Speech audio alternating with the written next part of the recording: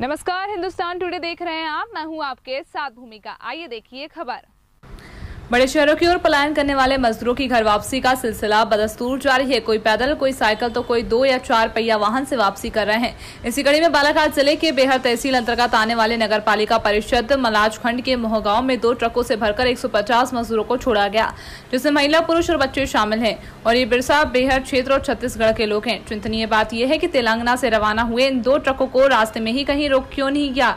बताया जा रहा है कि रास्ते में कहीं पर इनको कोई टेस्ट नहीं किया गया। ऐसे में सोशल डिस्टेंसिंग और परिवहन नियमों की धज्जे उड़ाते हुए लंबी दूरी तय करने वाले वाहनों में सवार मजदूरों में यदि कोई कोरोना संक्रमित व्यक्ति होगा तो इसका खामियाजा पूरे ज़िले को भोगना पड़ेगा। इस मामले पर सीएमओ लक्ष्मण सिंह सारस का कहना है कि सभी मजदूरों के नाम पते नोट कर लिए और इन्हें फ़िलहाल क्वारंटाइन सेंटर में रखा गया है। इनकी स्क्रीनिंग के लिए डॉक्टरों की टीम भी आ गई है। भोजन कराने के उपरांत इन्हें संबंधित गाँव की ओर भेज दिया जाएगा। Bureau report, Hindustan Today.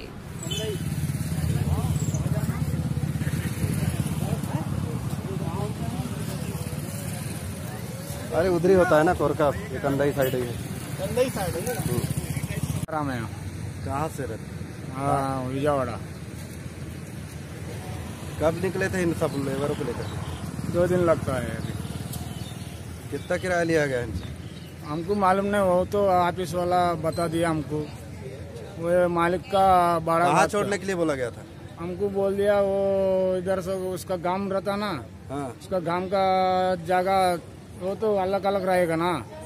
वो तो सेंटर देख को सेंटर में छोड़ दो वो अलग अलग जाएगा तो बोल दिया हमको। रास्ते में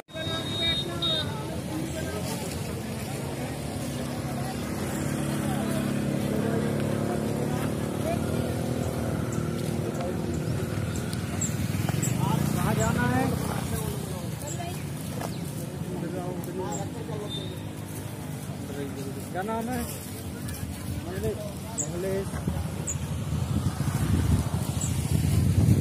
पिताजी का नाम क्या है? कहाँ जाना है? उम्र कितनी है? उम्र कितनी है? सर, आज दो ट्रक मजदूर यहाँ लगभग डेढ़ सौ मजदूर मोगांव में आकर के छोड़ा गया है। सर, क्या है? ये कि मजदूर कहाँ से आए हैं और इनकी व्यवस्था आगे की क्या बात है?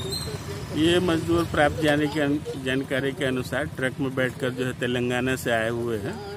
और जैसी मुझे जानकारी मिली, मैं स्वयं यहाँ पर आ गया हूँ और इनकी व्यवस्था की जा रही है और इनको सबका नाम लिख लिए हैं।